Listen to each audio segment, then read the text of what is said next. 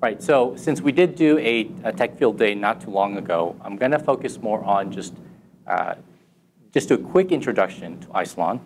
And what we want to focus on today is really about the new platforms that we launched, and very specifically, the F800 or the all-flash version. So a uh, quick introduction, I'll do that, and then I'm going to hand it over to my engineering counterparts, and they'll go through the actual hardware architecture, the OneFS enhancements to address and to, to enable Flash, as well as some of the actual real-world performance that we see with the platform. So to start it off, oh, and I, and I will say that uh, I will be available for later today for offline discussion as well as at our dinner. So if you have more in-depth questions that you have about things that we don't cover here, I'm available at that time. So to start things off, uh, Isilon is the scale-out NAS leader, and we've been doing that for over 15 years. In some sense, we kind of defined and really built out this category of NAS storage. And it's no surprise then that we are recognized as the number one uh, scale-out NAS leader in the market. We see this also validated in the market. And take care of your computer. we see that customers, we, for instance, we've shipped over 3.2 exabytes of capacity in 2016 alone. And we have over 8,000 customers running their business on uh, Isilon. And this is because Isilon delivers a lot of value to the customers. And just to give you some context, uh, Isilon started in 2001 really focused on uh, a, a media need for streaming data, being able to stream lots of content and finding a way to do that better with storage. And so a lot of our uh, customers actually use Isilon for their line of business or their R&D and the core business applications, uh, as well as general IT. So in, for those type of workloads, customers are looking for performance, capacity, and scale. At the same time, they, because they run their businesses on, on Isilon, such as media uh, editing or streaming content or designing new chips, they also need enterprise-grade capabilities to protect that data because it is so critical. Uh, last year, we also extended the capabilities to seamlessly integrate with cloud. So very similar to for the, the Unity team, we have a way to tier content off to a cloud for us for uh, uh, to, to go even larger capacities and and uh, to provide additional roadmap for what you can do with the cloud. You can also do data analytics straight off of the Isilon cluster. So in other words, you could do, for instance, Hadoop analytics and point a Hadoop cluster to the Isilon cluster without having to pull data off and ingest it in there. At the same time, Isilon, because of its heterogeneous clusters, the fact that you can mix and match different types of storage, different tiers of storage, in a single cluster allows you to optimize your TCO and store data on the most appropriate class of storage.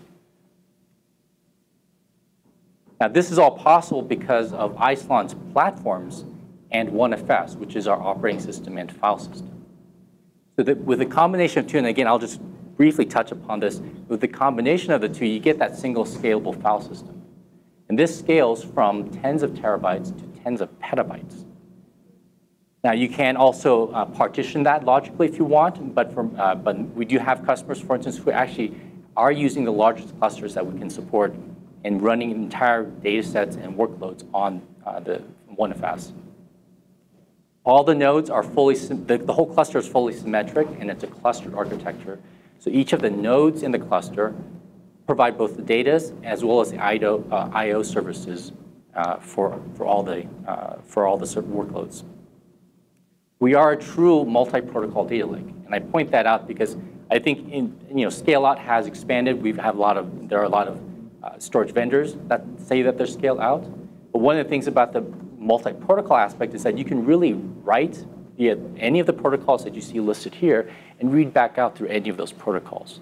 So you can store your data once. Let's say you have a workflow that comes in through a legacy application, write it in through FTP, NFS, SMB. Then you can still use that data uh, through any of the newer protocols like HDFS and uh, Swift. Uh, as I mentioned, we have the ability to actually build clusters in the single file system with a mix of different types of nodes. So we have nodes that are, let's say, more performance or, uh, optimized, others on the other end that are more capacity optimized. And you can mix and match these and use our policy-based tiering to move the data transparently between the different tiers of storage in that cluster. And this is all transparent to the end users because we move the data, but through, but as they access it, they still see those, the data in that file system. With that same technology, you also get the ability to non-disruptively upgrade your clusters because you can upgrade a single node and while the data is still accessible through the other nodes in the cluster, you can even also uh, do tech refreshes non-disruptively. So we've had for, you know, I believe for the 15 years that we've been uh, designing Isilon, the ability to, to avoid any kind of forklift upgrades uh, with our clusters. Now as we think about where our customers were headed, this is something we started looking at a couple of years ago, we saw that the industries that we're uh, quite often playing in have some challenges that really challenge what storage needs to deliver. And so they, they tend to push on the performance and capacity requirements of storage. And these are just some of the highlights, right? So an EDA going to smaller geometries, even going 3D and stacking them, which is really increasing uh, the amount of uh, the, the, designs and the amount of data that they need to process and crunch. Uh, life sciences, when you get to population scale genomics, uh, as an example, you need about 80 petabytes of data stored for every million people you want to sequence. Now, if you want to do that at nationwide scales, right, think about how much data you now need to store. M&E, the transitions from HD content to 4K content, it was doubling in a sense of resolution, but it was actually quadrupling the amount of data that you need to now store and process uh, in your workloads. And enterprises are looking for big data analytics, and now even looking towards real-time and streaming analytics to, to get uh, data and insights quicker. So we see this kind of pushing on the, again, the performance and the capacities needed uh, for, from storage. So we actually went, kind of went back to the drawing board and said, okay, if we want to enable all this for our customers, what do we need to do? And what we did was we actually just, in this, we just released this, uh, uh, uh launched this a month ago, which is our new generation of platforms. And takes the whole node concept that you have, the four nodes that you saw there, packs it into a single 4U chassis. So this is a new dense and modular architecture and design that you're going to see in all of our platforms and all the different tiers of storage that we sell uh, going forward. So this applies to the all-flash version that we're going to talk about today, as well as the other spinning disk versions that, are, that give different mixes of performance and capacity. So to give you some examples of what this scalability delivers for you, uh, when you think about capacities, a 4U chassis with four nodes can be as small as 72 terabytes raw, uh, and as large as 924 ter uh, terabytes in a 4U. Yes, I know it seems mind-boggling that you'd actually want almost a petabyte of raw capacity in a 4U chassis. We actually have customers demanding that today. Uh, so, uh, so now this is raw in a 4U chassis. You can, we start with 75% usable. So you actually get quite a lot of usable space to begin with.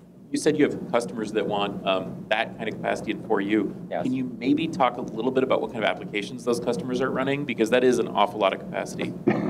so, uh, so if you think about, for instance, as I mentioned, the population scale genomics, that's a lot of data. Now, not, not all the research organizations have all the money to actually buy this kind of flash-based capacities.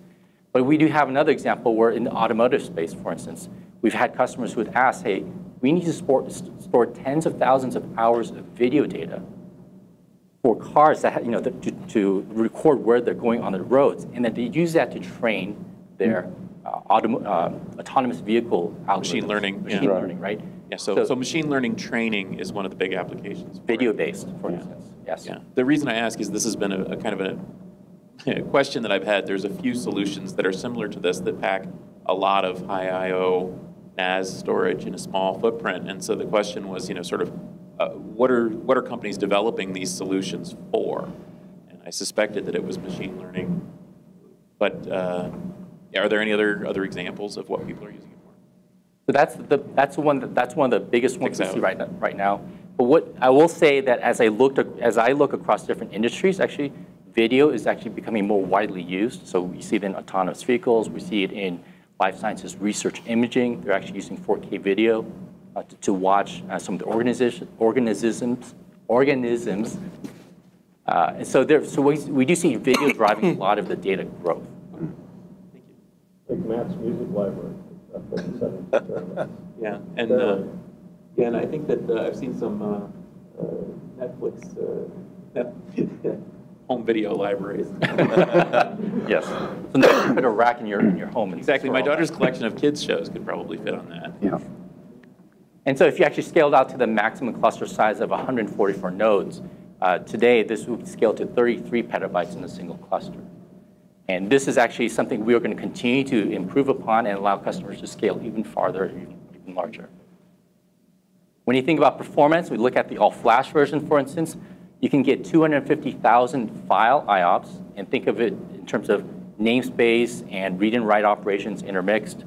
So 250,000 file IOPS in a single chassis, 15 gigabytes per second of aggregate read throughput, all this in a 4U. And again, scale it out. And the nice thing about Isilon is it scales linearly. And we can see that that would scale to 9 million file IOPS and 540 gigabytes per second. So to give you a comparison point, right, our current or our previous generation of platforms, and the, the S210 is the highest, uh, provides the most file IOPS and the smallest uh, rack space. And you would basically be taking 12 of those, 24 rack units, and, and basically squeezing it down into a 4U package. Right? So this is the amount of, like this, this gives you an example of how much performance we've now packed into uh, the rack units, uh, in the rack space for our customers. And if we compare it to some of our closest competitors, we still have tremendous performance and capacities at scale uh, that we can achieve. All right, so that's a very quick overview. Again, I'll be available later if you want to dig into anything else about Isilon, but at this point, I'll turn it over to Steve.